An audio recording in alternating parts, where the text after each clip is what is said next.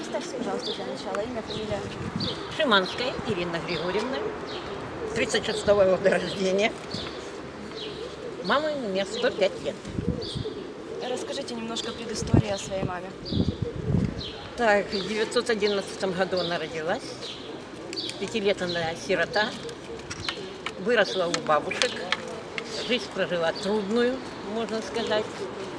И работала в Днепродзерж... Она сама с Калиновки.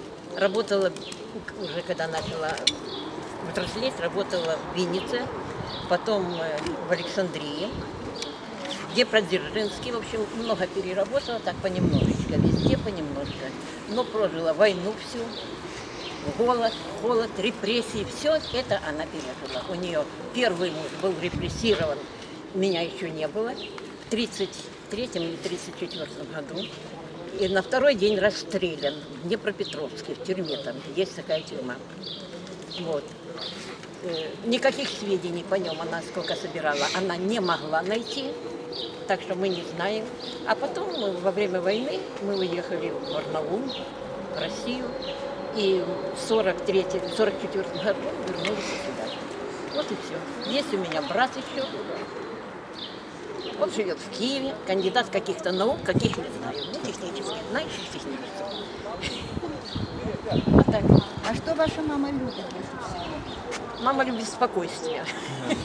Больше ничего. Мама, понимаете, она привыкла к такой жизни спокойной. Ну, не спокойной, у нее все время бурлило все. Поэтому ей хочется тишины и спокойствия. А Конечно, переживает она. Тяжело жить сейчас. Она живет фактически сама. Я в основном нахожусь у дочки, потому что мне надо там помочь. Мама сама находится. Так что, но она молодец. Она себе и варит, и, и все делает, и только не убирает, готов. Она готовит только, а я убираю с ней. А какое самое любимое занятие у нее было в жизни? Вы знаете, она любила вышивать. Да, она вышивала большие ковры такие. Сейчас она их подарила брату в Киев. Так она любила вышивать. А сколько у нее внуков? Внуков у нее сейчас раз, два, три, четыре. А правнуки есть? Правнуки есть, конечно, уже. Праправнуки. А про правнуков еще нет. Не хотят мои дети, праправ... внуки мои не хотят правнуков. Будут. Конечно, будут, обязательно будут. Только чтобы они жили хорошо. Вот что основное. Чтобы у нас было спокойствие в стране. Не было бы этого, этой войны. А скажите, вы когда-нибудь считали, сколько людей в вашей семье? Вы знаете, дерево где-то брат дерево ведет это. Но я еще его не видела. Нет. У него много. У него сейчас еще в Виннице, там в Калиновке или село еще какое-то есть. У него сейчас там родственники, они звонят. И даже они спрашивают, по ком мы родичи. Понимаете, сколько их там было? В основном все поумирали. Вот так. А Всё. 30-е годы голодомор. Она перенесла. Но жили, жила она в Днепродзержинске.